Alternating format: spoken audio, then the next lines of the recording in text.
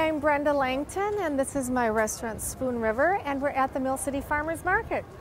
Um, we started this market two years ago, and I want to give you a quick little tour of it, so come on in. Hi, guys. How are you? Are the pears all gone?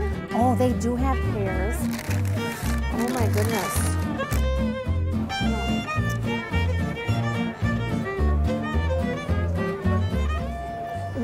Have everything from many vegetable growers, we have dairy farms, chicken, the eggs.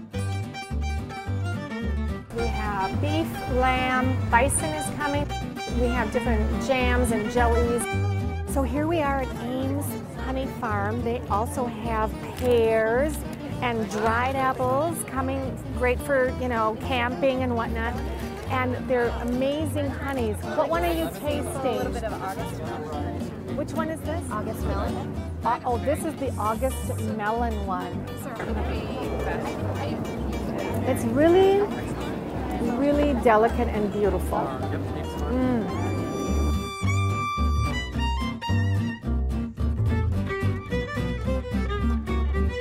Do you want to hold one? Here.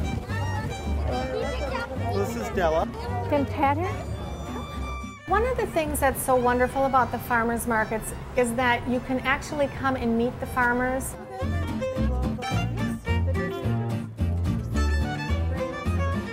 We have wonderful apples, and when is cider coming? Cider's coming later. We'll do that probably October. October. It's a really nice way to sort of learn about what they're doing, what they're growing, what their lives are like.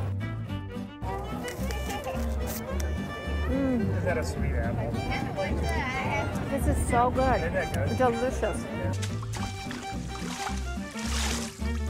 It's a way to keep the middleman out and that the farmers are actually benefiting and making a, a, a better living doing this.